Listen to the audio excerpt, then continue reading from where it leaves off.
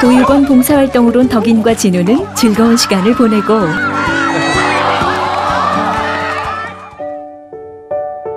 그날 저녁 진우는 덕인을 집까지 데려다 주는데 오늘 고생했어요. 푹 자요.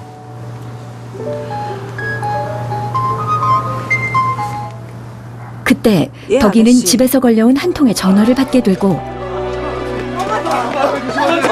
잠시 후 진우는 덕인이 시어머니를 모시고 병원으로 가는 걸 보게 되는데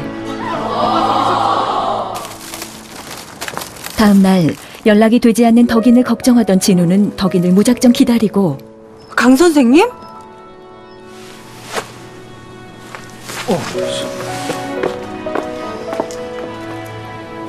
어머니 어떻게 되셨어요?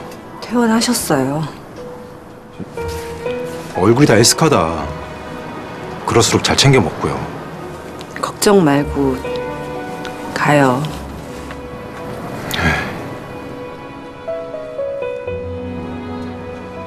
덕인을 위로하고 집으로 돌아가던 진우와 경철이 마주치는데 여긴 무슨 일이시죠?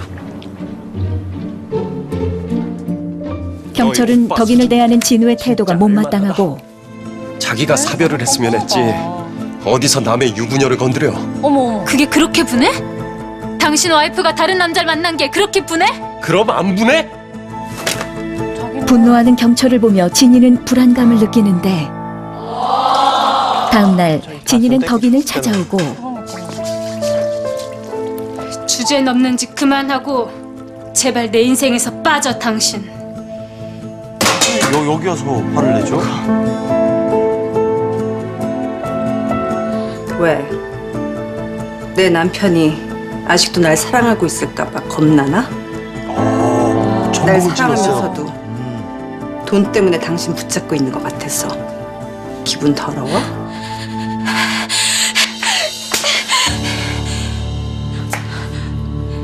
뭐 하는 짓이야 너?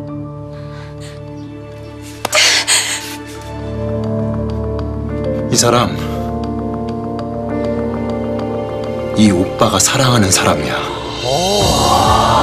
멋있다. 알겠어? 이건 저렇게 해야 돼요, 은근히, 그죠? 덕인의 편에 선 진우 지금까지 여자를 울려 속 명장면이었습니다.